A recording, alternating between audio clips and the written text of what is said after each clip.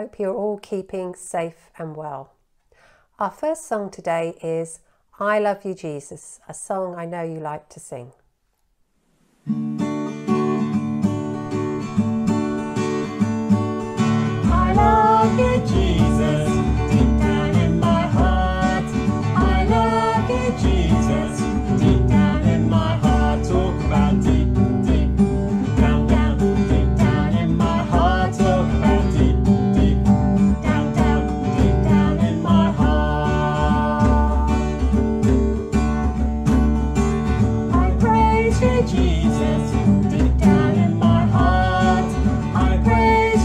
Jesus, deep down in my heart. Talk about deep, deep, down, down, oh, deep down in my heart. Talk about deep, deep, down, down, deep down in my heart.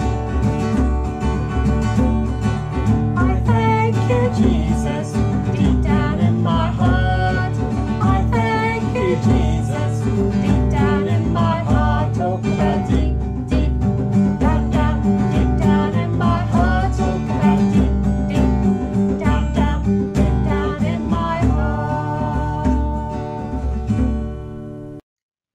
True Story of Mary Jones, Part 4.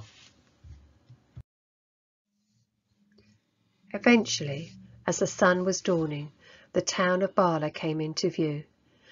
Mary's heart pounded with excitement. She had made it to her destination. From the brow of the hill she could see candle lights beginning to flicker in cottage windows.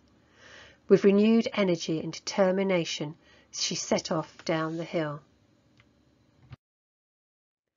With no idea which house Mr. Charles lived in, Mary began to knock doors and ask the bar, bar locals for directions to the right house. After going from door to door, she was given the information she needed and ran up the path to a large door which she knocked loudly with anticipation. The door was answered by Reverend Thomas Charles. Mary wasted no time on the doorstep, pouring out her reason for visiting. Sir, I've just walked 25 miles to get here. I've been saving up for six years to buy a Bible. I've got the money here. You can count it if you like. Please, can I have a Bible? Mr. Charles was taken aback. He looked at Mary's poor clothing and hands that had obviously worked hard. He invited her in with the words, You had better come in and tell me all about it. But first, you must have something to eat. You must be famished. He kindly arranged for his housekeeper to prepare food for Mary in his kitchen.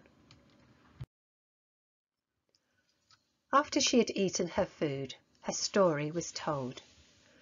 Mary eagerly shared everything, how she had so wanted her own Bible since she was nine, and how she had worked and saved hard for six years to raise all the money required.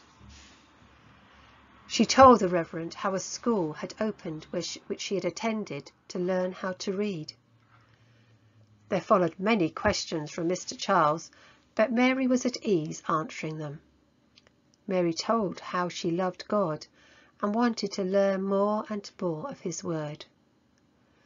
Mr. Charles was moved as he listened to the story of this truly amazing young girl. Her love for God was evident, and her thirst for a Bible was like nothing he had witnessed before.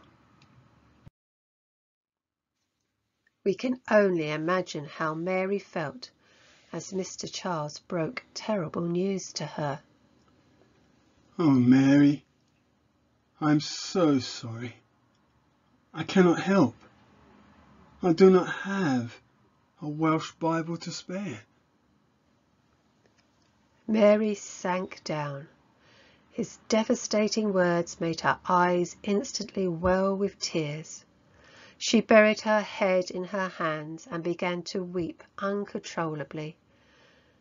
With deep despair she thought, All my work and savings have been for nothing. Mr. Charles watched on as the tears rolled down Mary's cheeks. He was heartbroken for her when he witnessed how much having a Bible would have meant to her. But then Mr. Charles had an idea.